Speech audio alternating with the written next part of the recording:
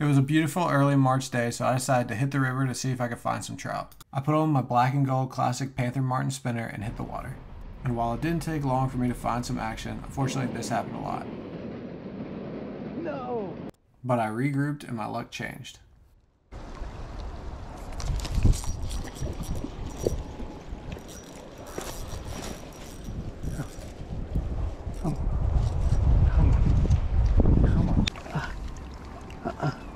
Yes.